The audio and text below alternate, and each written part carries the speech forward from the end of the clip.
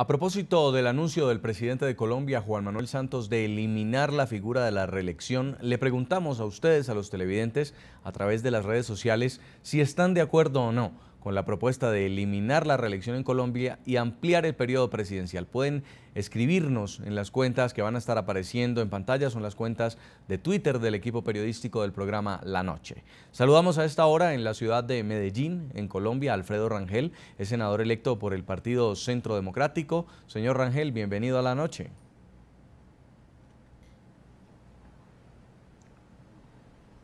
Muy buenas noches, Jason. Buenas noches a Laura Gil y a todos los oyentes.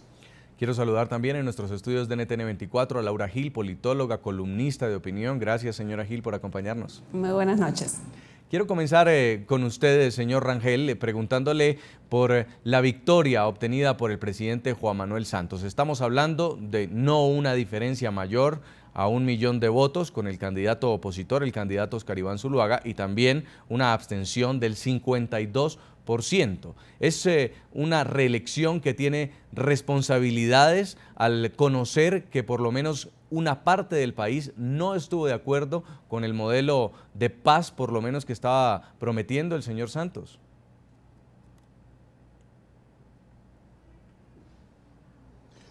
Pues efectivamente, eh, Santos obtuvo la victoria electoral, pero su mandato es muy precario, su mandato es muy débil. Sumado los votos de Oscar Iván Zuluaga y la gente que votó en blanco, pues son prácticamente cantidades iguales. Así que no puede decir uno que es un mandato muy claro y muy potente en favor del el esquema de diálogo de paz que está pregonando el presidente Juan Manuel Santos una diferencia de 900 mil votos en un volumen total de cerca de 16 millones de votos, pues no es realmente un mandato contundente en favor de ese modelo de diálogo de paz. Yo creo que el país queda muy dividido, muy escindido, muy polarizado entre esas dos versiones de los diálogos de paz.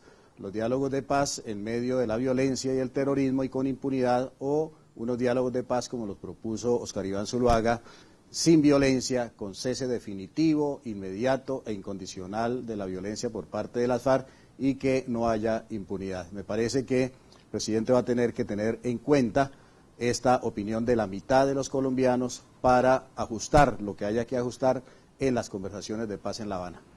Señora Laura Gil, la mayoría finalmente optó por la reelección del presidente Santos, aunque en primera vuelta el que había ganado era el candidato Zuluaga. Ahora el reto es conquistar a estos eh, casi 7 millones de colombianos que no votaron por él. ¿Podrá hacerlo? Pues mire, yo creo que la única manera de hacerlo es acelerando los tiempos de la negociación, por lo que, porque lo que está claro es que no se puede cambiar el esquema. El esquema ha funcionado, ha llevado a tres acuerdos ya, los primeros tres acuerdos que se han podido conseguir con la guerrilla de las FARC desde que comenzó el conflicto y todos sabemos que finalmente las condiciones que quería imponer el candidato Zuluaga era simplemente un disfraz para poder romper la negociación de manera que el costo le quedara a las FARC. Pero ¿considera usted que entonces eh, cuando el candidato Zuluaga habla de un modelo de paz distinto, con condiciones, estaba apostándole a la guerra?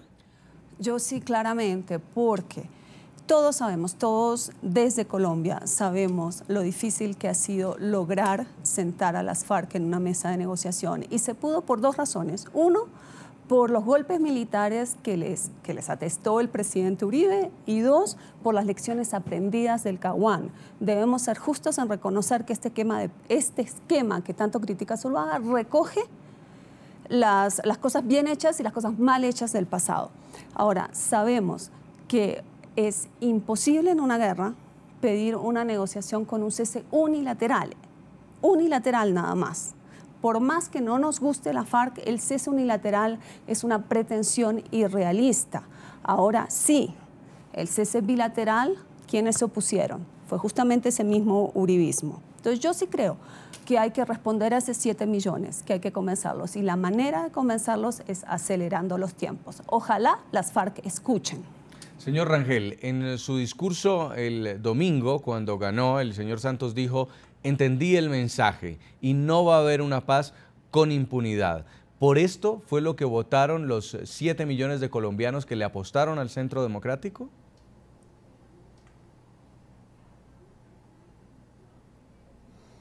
Pues es que el señor Juan Manuel Santos ha engañado al país en múltiples ocasiones y cuando él habla de que no habrá impunidad, pues no sabemos a qué se está refiriendo.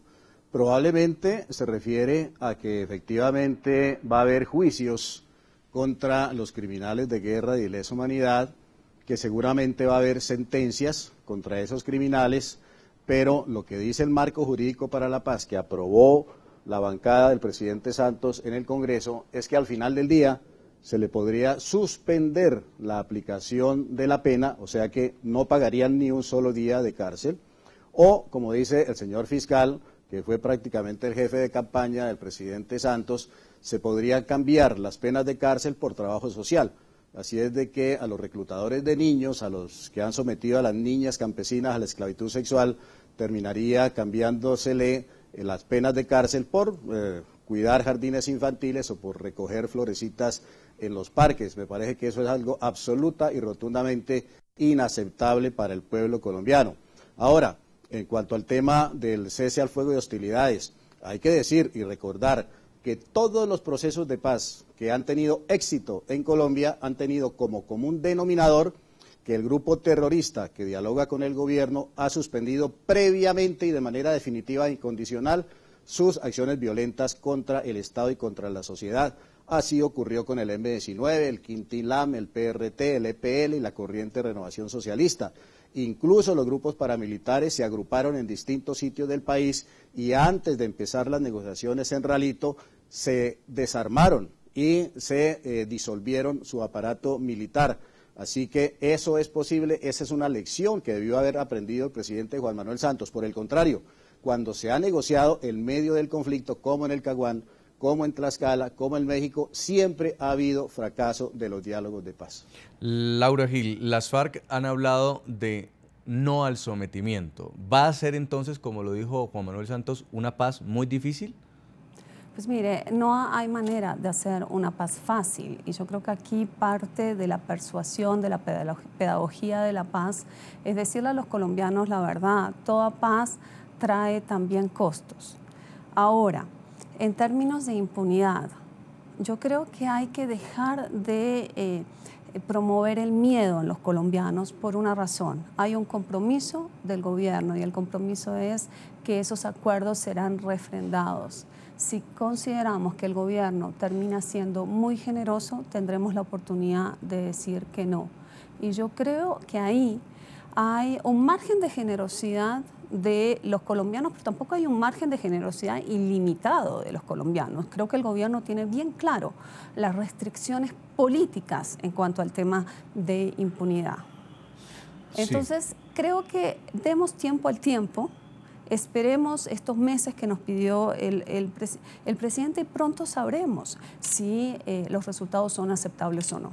Finalmente, las FARC sí influenciaron en esta reelección, pero ¿qué mensaje cree usted que deja el electorado en el panorama, en la balanza, al grupo que está negociando en La Habana la paz con el gobierno de Juan Manuel Santos? ¿Qué quiere decir usted? Sí influenciaron. Que la gente haya optado, que un millón eh, de Colombia, un millón en, exceso de colombianos haya, haya, aceptado el esquema de este esquema de negociación, quiere decir que la gente está dispuesta a darle la posibilidad a la paz. Que las FARC hayan influenciado de alguna otra forma, no me consta, lo que sí me parece es que es un momento histórico, un momento absolutamente histórico para el país y estuvimos al borde del precipicio, lo evitamos por suerte y en pocos meses podremos saber. La decisión está en nosotros. Y lo estamos debatiendo, señor Rangel, porque el tema de la paz fue el tema que prácticamente utilizaron ambas campañas para la segunda vuelta electoral. ¿Usted cuál cree que fue el mensaje que le envió el electorado a las FARC, a los cabecillas que están por lo menos en La Habana negociando con el gobierno colombiano?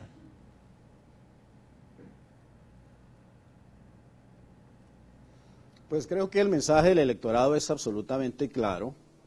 En Colombia, por lo menos la mitad de los ciudadanos eh, que votaron en las elecciones del domingo no van a tolerar una paz con impunidad.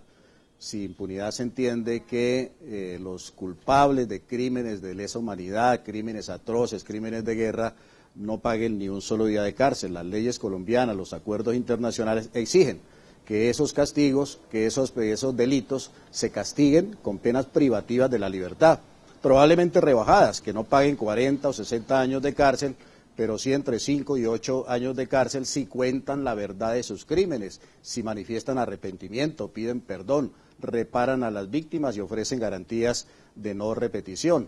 Creo que también es claro el mensaje que los colombianos no quieren que el premio para esos criminales sea curules gratis en el Congreso. La opinión pública tampoco quiere que esa paz sea sin entrega de armas y sin eh, negociar, y creo que la opinión también eh, opina, dice que no quiere una negociación donde se negocie, se ponga en tela de juicio la agenda nacional de los colombianos. Así que me parece que ese mensaje es absolutamente claro, contundente. Lo debe recibir así las FARC y lo debe de, recibir así también el gobierno nacional. Queremos diálogos de paz, queremos paz, pero diálogos no de cualquier manera ni diálogos a cualquier precio. Señora Laura Gil, apartándonos del tema de la paz, ¿los colombianos van a tener cuatro años más de qué con la reelección de Juan Manuel Santos? ¿Cuatro años más de lo mismo ¿Hubo alguna reflexión con esta elección? ¿Va a haber algún cambio en el panorama político? Mira, yo creo que el gobierno se dio cuenta que, hace eh, que es mucho más necesaria una pedagogía de la paz. El problema aquí no fue el debate guerra y paz. Yo creo que las banderas uribistas eh, en contra de este esquema de negociación son tan válidas como las de aquellos que lo defendemos. El problema aquí fueron las prácticas uribistas son las prácticas uribistas que no podemos aceptar.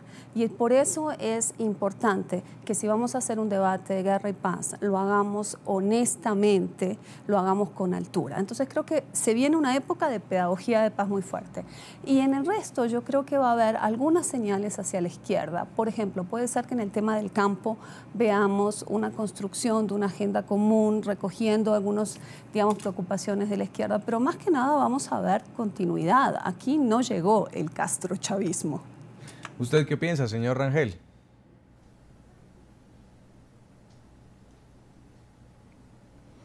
Pues a ver, yo creo que la principal exigencia que le vamos a hacer desde el Congreso al Gobierno Nacional es que haya transparencia en el tema de los diálogos de paz. El presidente, desde que comenzaron los diálogos de paz, ha dicho que la paz está a la vuelta de la esquina, que la paz está de un cacho que se iba a firmar en tres meses, después prorrogaron otros tres meses, después otros tres, ya vamos para dos años, y la verdad que deben saber los colombianos es que esos diálogos de paz ni siquiera han comenzado en realidad. No es verdad que se hayan ya aprobado tres puntos de la agenda de cinco puntos. Las FARC está diciendo e insiste todos los días en sus entrevistas y en sus documentos que los temas de fondo, los temas que son los más eh, preciados para ellos, en el primer punto, en el segundo, en el tercero, están absolutamente pendientes. En cada uno de esos puntos hay por lo menos 12 temas pendientes que ellos exigen que sean tramitados en la mesa de conversaciones y llegar a un acuerdo sobre esos temas, eh, so eh, riesgo de que no se firme ningún acuerdo de paz. Solamente para poner un ejemplo con el primer punto, en el, en el tema agropecuario, ellos exigen que se acabe con el latifundio, exigen que se termine con los tratados de libre comercio, que se desmilitarice el campo, o sea, que se reduzca el presupuesto militar, el tamaño de las fuerzas militares, que se cambie la doctrina militar, que se revise la política mineroenergética, etcétera, etcétera. En el segundo tema, igual, unas reformas institucionales, unas reformas políticas, etcétera, que para ellos están pendientes. No es verdad que la paz esté a la vuelta de la esquina y que ya se hayan saldado esos tres primeros puntos de la mesa. Hay que tener transparencia, vamos a tener que exigirle al gobierno transparencia sobre esos temas y que deje de engañar a la opinión con esas falsas expectativas de que tenemos un acuerdo de paz a la vuelta de la esquina, porque eso no es verdad. Señora Laura Gil, los colombianos tienen dos verdades, están divididos entre dos... Y una mentira. Sí. O sea, tratemos de, de decir las cosas como son. Sí quedaron unos puntos pendientes en el tema de tierras es verdad, quedaron unos puntos como las zonas de reservas campesinas que fueron propuestas para el final, pero no es verdad que quedó la mayor parte de, de la agenda por fuera de los tres acuerdos negociados. Lo de las curules especiales para la FARC ya ha sido descartado. Lo que se van a contemplar son curules especiales para zonas victimizadas. Perfectamente podría ser una víctima de la FARC que fuera elegido para esa curul, en esa curules, em, en esas jurisdicciones. Eh, es más, el tema de la doctrina militar, y este es un punto en el que hay que ser sumamente claros, es obvio que después de un acuerdo de paz la doctrina militar va a tener que cambiar y el ejército se va a reducir, pero no va a ser inmediato y eso no va a ser negociado. No es verdad que eso se esté discutiendo en la agenda. Ahora, obviamente, las FARC exigen, las FARC exigen. Eso, pues, todos, todas las partes en la mesa, se van por los maximalismos. Pero lo importante aquí es que el gobierno no les ha dicho que sí. Miren los acuerdos, leámoslos, tomémonos el trabajo de leerlos, son razonables. ¿No quedó muy comprometido Santos eh, cuando quiso garantizar la reelección apostando por el proceso de paz? ¿De pronto sí tendrá que decir que sí a muchas de esas cosas? No, yo no creo que el gobierno vaya a entregar el país. Yo creo que el, equipo negociador es garantía de que si las exigencias son exageradas y se llega a un punto, eh, a un obstáculo mayor, el gobierno se retira. Pero, pero, lo que sí es claro es que el gobierno recibió un mandato de paz. Guste o no guste, hizo campaña con la paz y ganó. A propósito del anuncio del presidente de Colombia, Juan Manuel Santos, de eliminar la figura de la reelección, que vamos a revisar en unos momentos, les estamos preguntando a ustedes, a los televidentes, a través de Twitter, ¿están de acuerdo o no con la propuesta de eliminar la reelección en Colombia y ampliar el periodo presidencial, como lo propuso el presidente Santos? Los invitamos a que nos respondan en Twitter y vamos a leer algunos mensajes a esta hora que envían los tuiteros. Juan Carlos Araujo dice, Cinco años sin reelección es lo más sano para una democracia y elecciones parlamentarias por separado. También escribe Marta Aleida y dice que se amplíe de acuerdo a la opinión del pueblo si así lo considera en cada gobierno, según cómo esté gobernando. También escribe Juan Manuel Incapié y dice la reelección no y un periodo de máximo cinco años, las parlamentarias y regionales en la mitad del presidencial. Vamos a la pausa, ya regresamos en la noche.